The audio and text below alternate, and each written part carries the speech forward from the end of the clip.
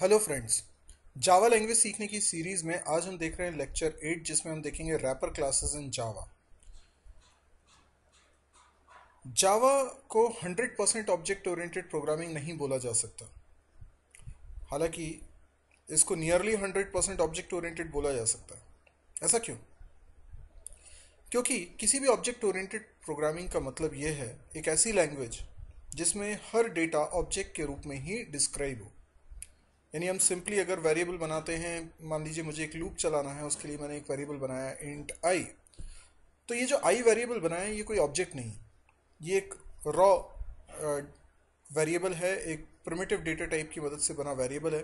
तो जो primitive data types होते हैं इंट कैर फ्लोट डबल वगैरह, ये सारे के सारे प्रिमिटिव डेटा टाइप की मदद से बनने वाले वेरिएबल्स ऑब्वियसली ऑब्जेक्ट नहीं होते। तो यस जावा में ये पॉसिबल है कि हम डेटा को रिप्रेजेंट करने के लिए ऑब्जेक्ट ना बनाएँ और हम सिर्फ़ प्रिमिटिव डेटा टाइप से काम चला लें। यस इट इज़ पॉसिबल पर ऐसा करने पर जावा का ये प्रोग्राम 100 परसेंट ऑब्जेक्ट ओरिएंटेड नहीं रह जाएगा। तो ये बहुत मामूली सा अंतर है, हालाँकि इसको इग्नोर भी किया जा सकता है, लेकिन इसका सॉल्यूशन जावा में है। क्या सॉल्यूशन है जावा में? रैपर क्लासेस यानी जावा में रैपर क्लासेस रैपर रैपिंग मतलब क्या होता है? जैसे हम कोई गिफ्ट खरीदते हैं, उसके ऊपर रैपिंग कर देते हैं, उसको कवरिंग कर देते हैं, बिल्कुल वैसे ही। यदि हम प्रिमिटिव टाइप के वेरिएबल्स बनाना चाहते हैं तो हम हम वो वेरिएबल्स ना बनाएँ, बल्कि हम किसी क्लास के ऑब्जेक्ट बनाएँ। एक ऐसी क्लास हो इमेजिन करिए, एक ऐसी क्लास हो, जिसके अंदर एक ही वेरिएबल हो, जो कि इंट टाइप का हो। तो एक ऐसी क्लास हमने बना दी, जिसका ऑब्जेक्ट बनाने पर हम उसके अंदर एक इंटीजर वैल्यू ही रखते हैं। तो अब मुझे इंटीजर वैल्यू अगर रखनी है तो मेरे पास दो ऑप्शन हो जाएँगे। या तो मैं इंट टाइप का वेरिएबल बनाऊँ और उसके अंदर वैल्यू रखूँ, या फिर मैं किसी क्लास का ऑब्जेक्ट बनाऊँ और उसके अंदर एक इंट वेरिएबल है, उसके अंदर इंटीजर वैल्यू रखूँ। तो ये जो दूसरा वाला तरीका है क्लास वाला तरीका है, इसमें हमें ऑब्जेक्ट ओरिएंटेड स्टाइल नज़र आती है। इसका एक और फ़ायदा ये है कि क्लास के अंदर कुछ फ़ंक्शंस भी हो सकते हैं जो इस वैल्यू को मैनिपुलेट करने के काम आए। तो ऐसी रैपर इस तरह की क्लास को क्या बोल सकते हैं? रैपर क्लासेस क्योंकि इन्होंने ये जो इंट वेरिएबल है, इसको क्या कर दिया रैप कर दिया है कवर कर दिया है। तो केवल इंट ही क्यों? जितने भी प्रोमेटिव डेटा टाइप हैं, उनके लिए सबके लिए रैपर क्लासेस मौजूद हैं। तो हर एक data type primitive data type के लिए एक रैपर क्लास मौजूद है। आइए देखें इसकी लिस्ट तो ये देखिए प्रोमेटिव टाइप लेफ़्ट साइड में लिखे हुए हैं, और क्योंकि प्रोमेटिव टाइप ये कीवर्ड्स भी हैं तो ये सभी स्मॉल लेटर्स में लिखे हुए हैं। पर आप देखिए जावा में ऐसी कुछ प्री डिफाइंड क्लासेस हैं बाई चांस इसके नाम भी वही हैं जो इन्फॉर्मेटिव टाइप के नाम हैं, लेकिन पहला लेटर आप नोटिस करिए कैपिटल है, जो कि जावा के कन्वेंशन में है कि हम हर क्लास का नाम कैमल नोटेशन में रखते हैं तो कैपिटल लेटर से स्टार्ट होता है। तो आमतौर पे तो जो प्रिमिटिव डेटा टाइप का नाम था, वही यहाँ क्लास का नाम होगा, लेकिन एक एक्सेप्शन के तौर पे कैर और इंट को देखिए, जिसमें क्लास का नाम है कैरेक्टर और इंटीजर बाकी सभी में जो नाम डेटा टाइप का था, वही नाम यहाँ पे रैपर क्लास का है। सिर्फ़ पहला लेटर कैपिटल होगा। तो ये तो हो गए हमारे क्लासेस अब इन क्लासेस के अंदर कुछ इंपॉर्टेंट फ़ंक्शंस हैं, उनके बारे में समझते हैं। फ़ंक्शंस और भी हैं, आप डॉक्यूमेंटेशन में देख सकते हैं, लेकिन कुछ खास फ़ंक्शन की बात यहाँ पर मैं करूँगा। जैसे एक फ़ंक्शन है वैल्यू ऑफ़ ये स्टैटिक मेथड है। अब आप समझते हैं स्टैटिक मेथड क्या होता है। स्टैटिक मेथड वो फ़ंक्शन होता है जिसको हमें जिसको कॉल करने के लिए ऑब्जेक्ट बनाने की ज़रूरत नहीं पड़ती। तो देखिए, इसके लिए हम क्या करते हैं? एक छोटा सा प्रोग्राम बनाते हैं। जैसे मैंने बनाया पब्लिक क्लास एग्ज़ाम्पल ओके यहाँ पे public static void main string A R G S right and uh, इस मेन फ़ंक्शन के अंदर हम वैल्यू ऑफ़ फ़ंक्शन को अगर कॉल करना चाहते हैं तो इसके लिए मुझे रैपर क्लास का ऑब्जेक्ट बनाने की ज़रूरत नहीं है क्योंकि ये स्टैटिक फ़ंक्शन है। अब स्टैटिक फ़ंक्शन है तो मैं कैसे कॉल कर सकता हूँ? मैं लिख सकता हूँ इंटीजर इंटीजर एक क्लास का नाम है डॉट वैल्यू ऑफ़ ये वैल्यू ऑफ़ फ़ंक्शन में हमें कुछ पास भी करना है। क्या पास करना है?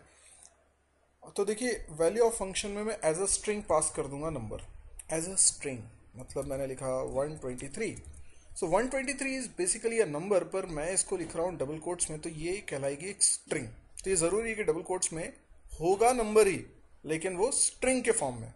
तो वैल्यू ऑफ़ फ़ंक्शन ने एक ऑब्जेक्ट बनाया. किस क्लास का? उसी क्लास का जिसने इसे कॉल किया यानी इंटीजर क्लास ने अगर वैल्यू ऑफ़ को कॉल किया तो ये वैल्यू ऑफ़ इंटीजर क्लास के अंदर का स्टैटिक फ़ंक्शन है। पर हर रैपर क्लास के अंदर वैल्यू ऑफ़ फ़ंक्शन होता है।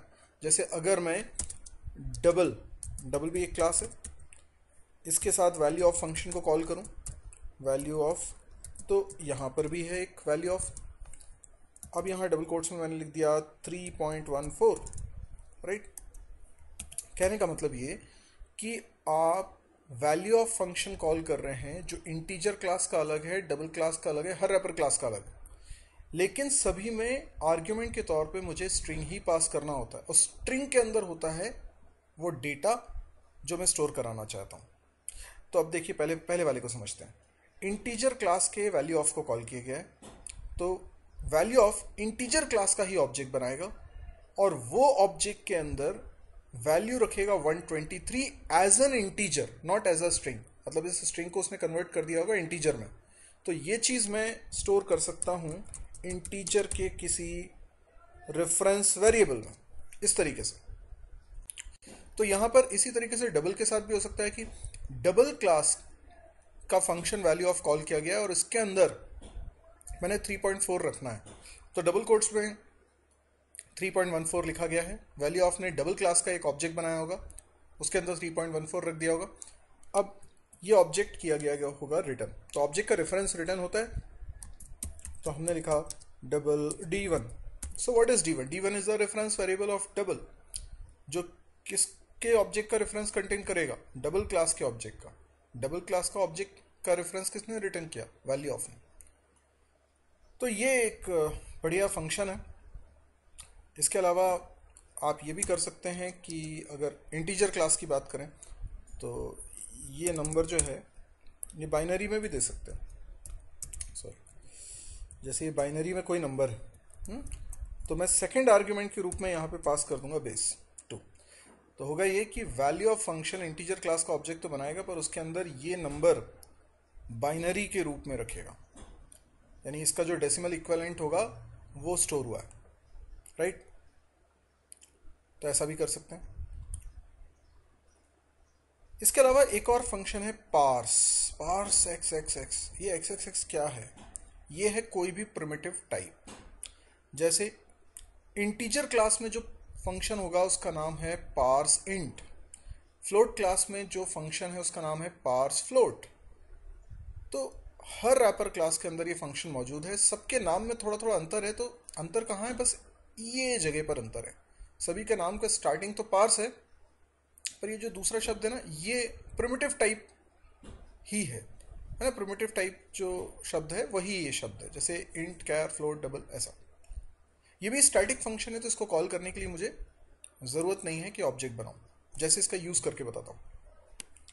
अगर मैं लिखता हूँ, क्योंकि स्टैटिक फ़ंक्शन है, इसलिए क्लास का नाम इंटीजर डॉट पार्स इंट अब देखिए parse int function integer class में। फ्लोट क्लास में पार्स इंट नहीं है, पार्स फ्लोट है। डबल क्लास में पार्स डबल। है तो आप किस क्लास के नाम के साथ डॉट लगाकर लिख रहे हैं पार्स को, डिपेंड करेगा इस पर तो पार्सेंट। पार्सेंट क्या करता है? स्ट्रिंग को कन्वर्ट कर देता है डिजायर्ड फॉर्म, फॉर्मेट में। जैसे पार्सेंट किसी स्ट्रिंग को, जैसे स्ट्रिंग लिखी है 123 इसको वो 123 एज एन इंटीजर में कन्वर्ट करेगा। और पार्स इंट रिटर्न करता है किस टाइप की value X X X type की। हाँ यही तो लिखा है।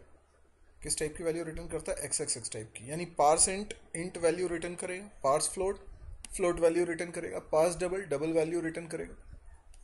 तो यहाँ पे मैंने एक वेरिएबल बना लिया ए क्योंकि ये इंट टाइप की वैल्यू रिटर्न कर रहा है इंटीजर नहीं इंट टाइप की वैल्यू तो स्ट्रिंग से इन्वर्ट करने के लिए ये फ़ंक्शन है।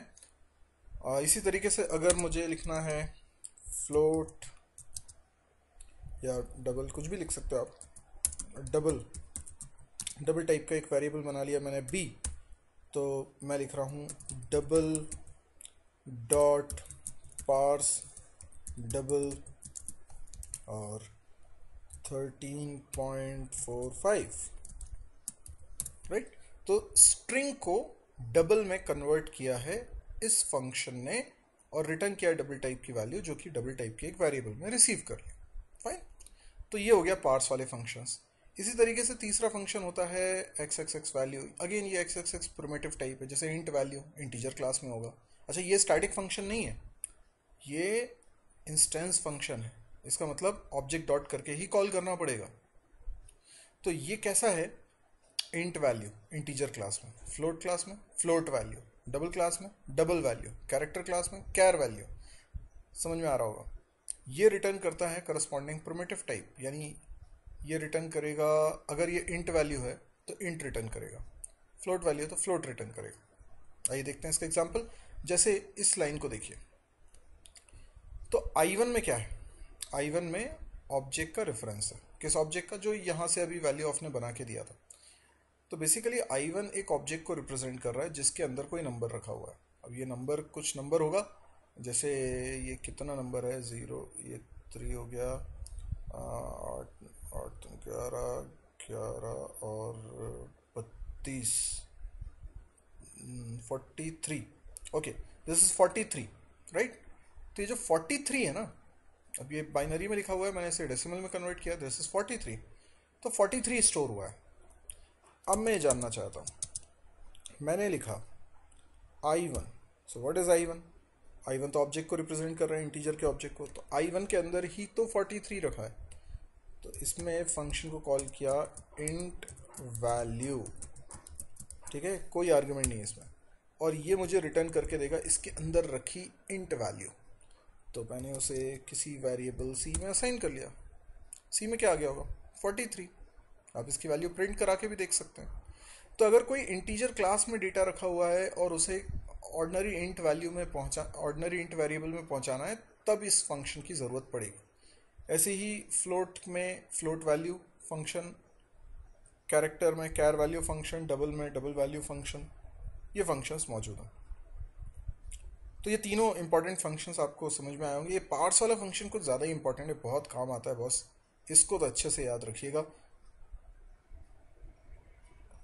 एंड अगर आपको ऐसे वीडियोस और चाहिए और अच्छे लग रहे हैं, आपको पसंद आ रहे हैं तो आप इस चैनल को सब्सक्राइब करिए। इस तरह के और वीडियोस की अपडेट्स आपको लगातार मिलती रहेंगी। जैसे ही मैं अपलोड करूँगा, आपको पसंद आ रहा है वीडियो आप लाइक करिए। अपने दोस्तों के बीच में इसको शेयर कर सकते हैं। आप मुझसे मुझ तक अपनी बात पहुँचाने के लिए कमेंट्स कर सकते हैं। आप कोई शिकायत, सुझाव या जो भी कुछ आपको कहना है डाउट है, कुछ भी पूछना है आपको तो आप कमेंट्स के ज़रिए मुझसे पूछ सकते हैं। इसके अलावा मेरा फ़ोन नंबर भी यहाँ पर दिया हुआ है। पर सबसे इंपॉर्टेंट है यहाँ पर मेरी जो वेबसाइट दी हुई है, इस पर आप विज़िट करिए। इसमें आपको पहले ही पेज पे मेरे अलग अलग चैनल्स के लिंक मिल जाएँगे। हर चैनल अलग अलग सब्जेक्ट को ध्यान में रखते हुए बनाया गया है। जैसे सी के लिए अलग है सी प्लस प्लस के लिए अलग है जावा अलग है डेटा स्ट्रक्चर अलग है पीएचपी का अलग है। इस तरीके से ये अलग अलग चैनल्स हैं, आप इनको सब्सक्राइब करिए। और तमाम वीडियोस फ्री में ऑनलाइन में हम देख सकते हैं, सीख सकते हैं। तो अब सीखना बिल्कुल भी मुश्किल नहीं है। आप कहीं पर भी हों, आप इन वीडियोस के ज़रिए कोई भी लैंग्वेज सीख सकते हैं। Thank you